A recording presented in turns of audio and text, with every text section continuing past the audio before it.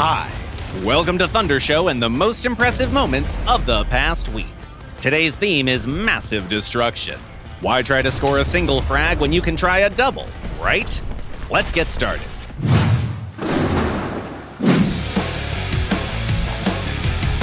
While the enemy anti-air is distracted with shooting at who knows what, this pilot charts a good course to drop a bomb and remind it of its main responsibilities. It certainly seems necessary. Look at this plane flying almost above its head unnoticed. The Spitfire chasing it looks like a nuisance, though, and needs shaking off. Oh, here we go. A lone bomb takes out both the anti aircraft gun and the enemy chaser. Many people criticize the A 10 for its awkward looks, but no one can blame it for being inefficient, especially in ground attacks. However, Cree 1 doesn't seem to notice the class limitations. Their Warthog only fights aircraft and manages to knock out no less than nine planes. Acton wanted to defend the fighter's honor and chose the I 185 for their vehicle. Let's see if they can beat the Warthog's record. Okay, here's 9 frags, 10, 20, 30, 33 destroyed planes. The pilot did change their vehicle during the process, of course, but it's still pure mayhem. Respect!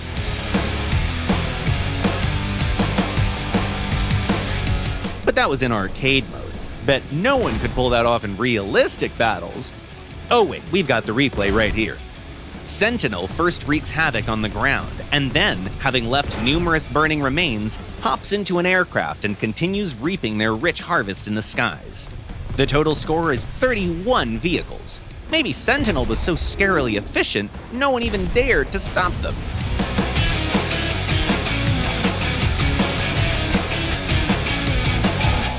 But what if quality means more than quantity?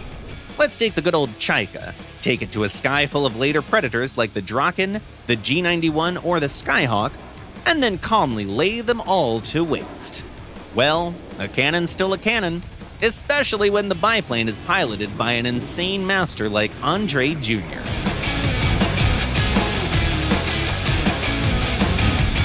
And now let's check out live War Thunder and travel to a remote Pacific island. This hangar was craftily made by Bread. No kidding, that's the creator's nickname, Made by Bread. It's a full scale naval base with hot asphalt, clear skies, and warm sands. Just the thing you need when the outdoor temps are plummeting.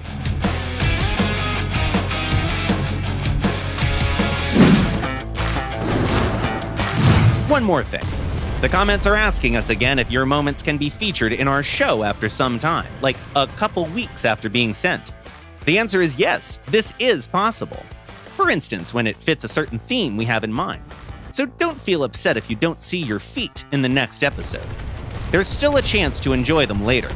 Good luck with your epic moments, and see ya!